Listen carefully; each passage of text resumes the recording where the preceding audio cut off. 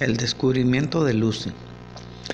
El 24 de noviembre de 1774 en las colinas de Afar, Etiopía, un grupo de antropólogos dirigidos por el estadounidense Donald Johansson encontró los restos fósiles del esqueleto así casi completo de un homínido.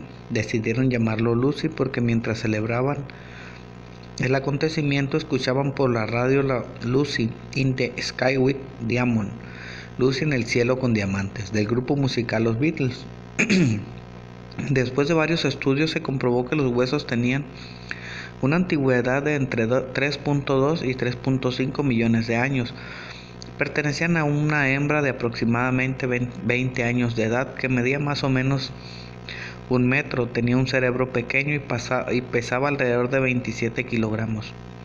Se concluyó que descendía de la especie Australopithecus afarensis, y que era el resto fósil más antiguo del que se tenía conocimiento hasta ese momento.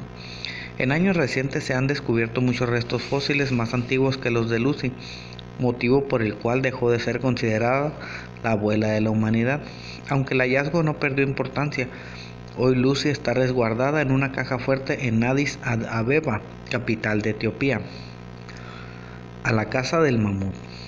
A lo largo de la historia los animales han sido indispensables para la supervivencia y el desarrollo del ser humano. En la prehistoria la carne y las pieles de animales sirvieron como alimento y vestido.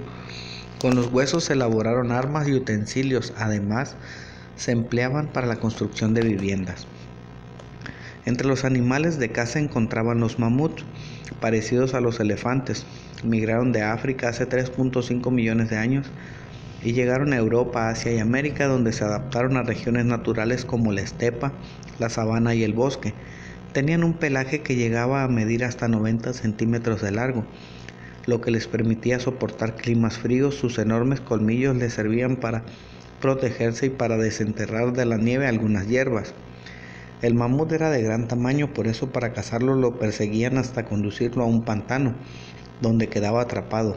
Una vez ahí, los cazadores le arrojaban lanzas y flechas. Se extinguieron hace 10.000 años debido a los cambios climáticos que alteraron su hábitat y su casa.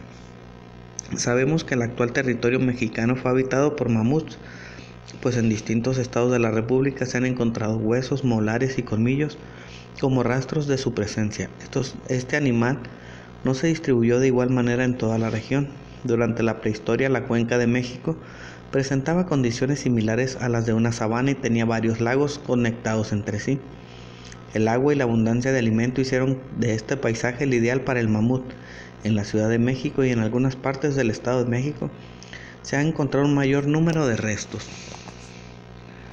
Recordemos la importancia de conocer un poco de la historia y la prehistoria que antecede al ser humano. Muchas gracias.